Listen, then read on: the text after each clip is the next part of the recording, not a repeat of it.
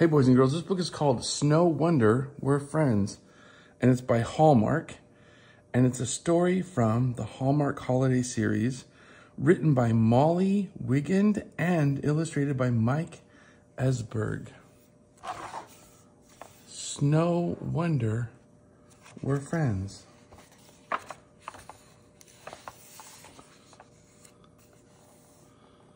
The week before Christmas, Brianna and Brendan were bouncing right off the walls.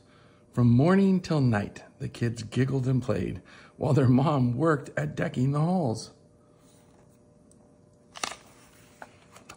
Mom needed a break, so she sent the kids out with a warm and woolly hat on each noggin. They tromped through the snow to an old backyard shed and pulled out the family toboggan.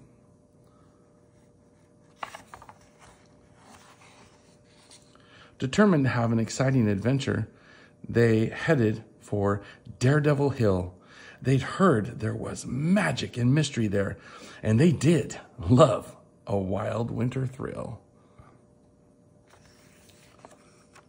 As the kids looked straight down from the hill's scary summit, the feathery snow sparkled and swirled.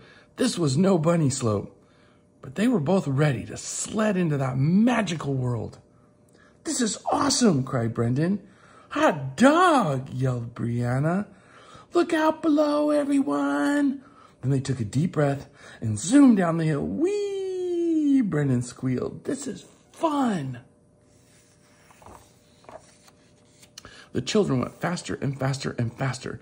Past the snow-covered pine trees they sped. At this dizzying pace, they could hardly see straight. No one saw the big bump ahead.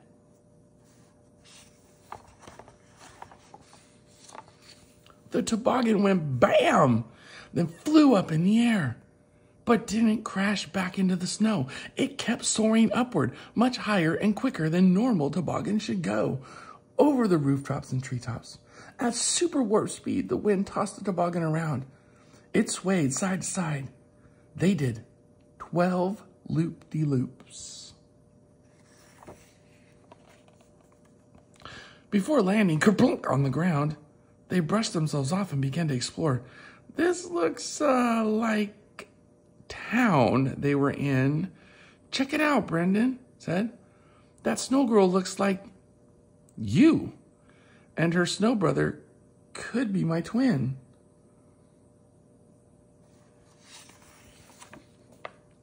The snow kids were running and jumping and playing and driving snow mom up the wall. So she sent them outside, like Brianna and Brendan, in their boots, hats, mittens, and all. From the moment they met, those four kids had a blast in spite of the blustering weather.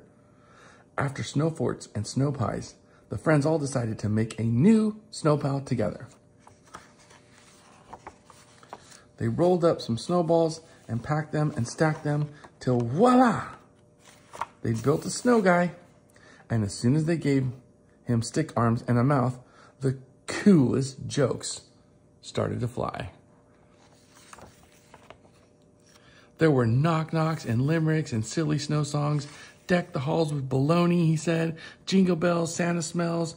Cracking jokes, making faces. This comic was knocking 'em dead. Have a nice day. Snow wonder we're friends. No line was too silly or punny. Do you think it will rain, dear? He joked with a chuckle. There just was no end to the funny. Ha, ho, hee, hoo, ho. Soon it was time for the kids to go home. No one wanted the great day to end, but Brianna and Brendan got ready to leave, along with their little snow friend. they said their goodbyes, and with hugs all around, they wrapped up the little guy tight the snow friends helped out with a one, two, three push, and the toboggan sailed off out of sight. In less than an instant, Brianna and Brendan were home with a story to share of a magical land filled with frosty good fun and the snow folks who welcomed them there.